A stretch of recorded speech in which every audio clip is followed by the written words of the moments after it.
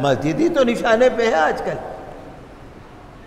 ज्ञान ज्ञानवापी मस्जिद में जो आपने देखा कि वहाँ पर सर्वे कराया जा रहा है, अरे सदियाँ गुजर गई, अब आप सर्वे करा रहे कई सौ साल से जो मस्जिद मौजूद है, अब जाके उसका सर्वे हो रहा है। और सर्वे में भी जो पहले नाटक होते थे, वही नाटक है, और क्या, कोई नई बात तो है नहीं। तो आज मस्जिदें निशाने पे हैं। आज मदरसे निशाने पे हैं। तो हमें भी ज़रूरत है कि हम अपनी मस्जिदों से मोहब्बत भी करें और मस्जिदों की खिदमत भी करें। सर्वे के नाम पे ज्ञानवापी मस्जिद के लिए सर्वा सर्वे कराया गया। एक एडवोकेट कमिश्नर लगाया गया, उसने दो दो सफ़े की रिपोर्ट दे दी। लेकिन वो रिपोर्ट तो देने से पहले, अदालत में दाखिल होने से पहले लीक हो गई। एक और स्पेशल कमिश्नर लगाया गया, उसने भी रिपोर्ट दे दी। इन्होंने दो सफ़े की दी, उसने आठ सफ़े की दे दी। और पता लगा कि वहाँ पर क्या मिला उनको? मुझे तो नाम लेते में भी शर्म आती है, नाम तो नहीं लूँगा मैं आपसे। शर्म की चीज़ का तो नाम लेना भी शर्म की चीज़ है। क्या निकला वहाँ पर, ये तो आप सुन लीजिएगा। लेकिन ऐसी पाकिज़ा जगह पर, मस्जिद मस्जिद का हौज मस्जिद का फव्वारा। और कहते हैं, वहाँ पर क्या निकला है? बस नाम भी लेने को जी नहीं चाहता। हालाँकि मस्जिद सदियों पुरानी बनी हुई है। आप देखिए, यहाँ भी मस्जिद है, फव्वारा लगा हुआ है। ये फव्वारा जो होता है ना, ये पानी को साफ़ करने का एक तरीक़ा है। जहाँ फव्वारे चलते हैं ना, वहाँ पानी साफ़ रहता है सर्कुलेशन में रहता है पानी, घूमता रहता है। काही नहीं जमने देता, धूल नहीं जमने देता, पानी शफाफ रहता है। और ये भी उस ज़माने का एक सिस्टम है। फवारे का हर जगह फवारा होता है, उन्होंने फवारे को देखा कह लगे, यहाँ तो कोई हिंदुआनी चीज़ बता दी कि भाई यहाँ तो ये निकल गया। हो ही नहीं सकता। एक हज़ार दफ़ा नहीं होता। ये मुसलमानों पर ना बस तरह तरह के झूठे इल्ज़ाम। हम तो यही कहते हैं कि जब वो कमिश्नर हो या कोई भी हो, जब सुप्रीम कोर्ट ने बाबरी मस्जिद के फैसले में लिख दिया कि उन्नीस सौ इक्यानवे का एक्ट माना जाएगा तो मानना चाहिए। भाई, सुप्रीम कोर्ट तो हमारी भारत की सुप्रीम कोर्ट कह रही है। हमारा कानून बना हुआ है। और अगर कोई हमसे जवाब मांगेगा तो हम माकूल जवाब दे सकते हैं। हम मनकूल जवाब भी दे सकते हैं, माकूल जवाब भी दे सकते हैं। माकूल जवाब का मतलब जो लॉजिकल हो, जो अकल में आने वाला हो। मनकूल का मतलब जिसमें कानून हो। जवाब दे सकते हैं। और जवाब मौजूद है। बाबरी मस्जिद के फैसले में सुप्रीम कोर्ट ने जो फैसला दिया था, उसमें लिखा था। बहुत सारा कुछ लिखा था, मैं तो याद ज़्यादा नहीं बता सकता।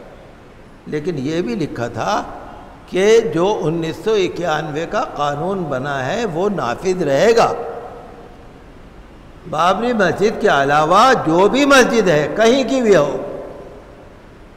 उन्नीस सौ इक्यानवे के कानून पर उस पर अमल होगा और आज़ादी के वक्त जो मस्जिद की हालत थी, वही रहेगी।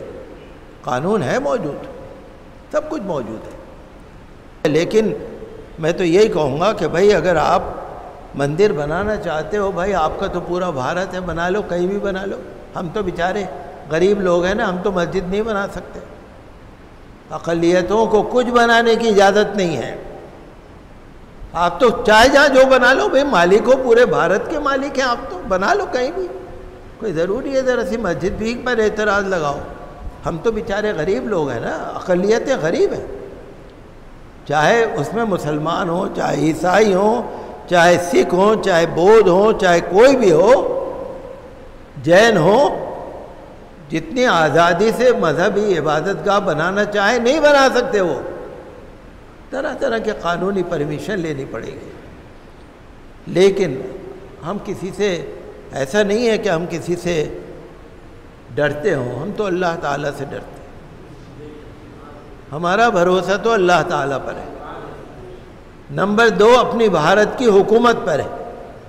नंबर तीन, भारत की सुप्रीम कोर्ट पर है। भारत के कानून पर है। और मुसलमान और सारी अकलीतें, चाहे मुसलमान हो, ईसाई हो, कई दफ़ा हमारे पास फ़ोन आते हैं, हमारे दोस्तों के ईसाई हैं और और मज़हब वाले हैं ये जिस तरह की हरकतें लोग कर रहे हैं ना मस्जिदों को, ये आम हिंदू इसको पसंद नहीं कर रहे।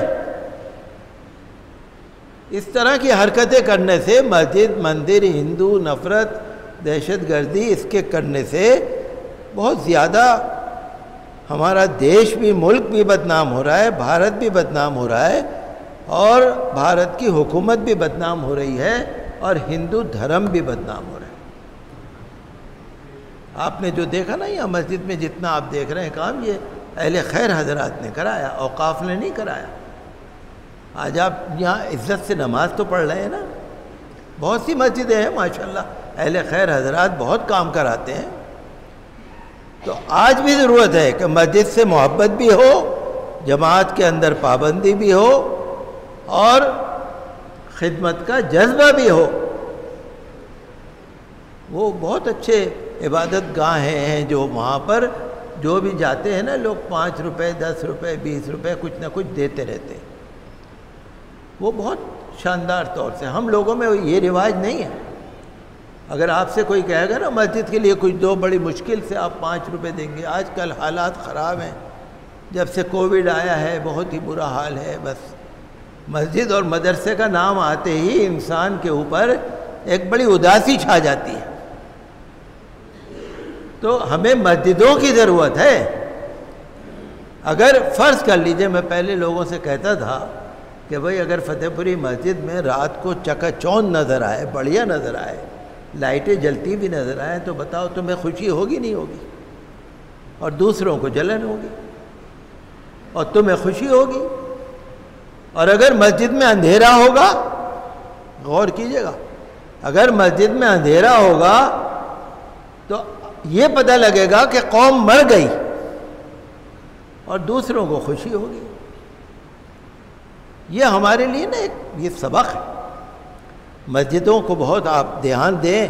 अगर हमारी मस्जिदों को या हमारे मदरसों को या हमारे इदारों को नाजायज़ तौर पर, जायज़ तौर पर तो हम नहीं कहते कुछ। नाजायज़ तौर पर अगर किसी भी तरह से सताया जाएगा तो कौन बदनाम होगा? हुकूमत बदनाम होगी। कौन बदनाम होगा? अदालत बदनाम होगी। कौन बदनाम होगा? हिंदू धर्म बदनाम होगा। मुसलमानों को कोई फ़िक्र नहीं है। और हम तो हमेशा भरोसा रखते हैं। आपने देखा ना, वाराणसी में जो जज ने ऐलान कर दिया था, जज ने लोकल मजिस्ट्रेट ने जो कर दिया था कि भाई ज्ञान वापी मस्जिद में खाली बीस आदमी नमाज़ पढ़ेंगे, सुप्रीम कोर्ट ने उस ऑर्डर को कैंसिल कर दिया ना। जैसे ज्ञानवापी मस्जिद के मजिस्ट्रेट ने मुकदमा सुनने की तारीख लगा दी थी, सुप्रीम कोर्ट ने उस पर स्टे लगा दिया ना। तो हमें भरोसा है कि इन सुप्रीम कोर्ट से अच्छे फैसले होंगे और हर मस्जिद की हिफाजत को यकीनी बनाया जाए। हर मुसलमान, हर अकलीत, हर शहरी, हर नागरिक, हर बाशिंदा उसके जान माल की हिफाजत को यकीनी बनाया जाए, तभी हमारे भारत का नाम ऊँचा हो